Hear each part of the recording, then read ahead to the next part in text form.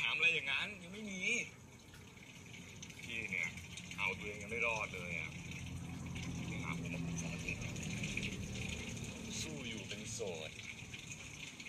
ดูแลน้องสาวคนนี้ดิ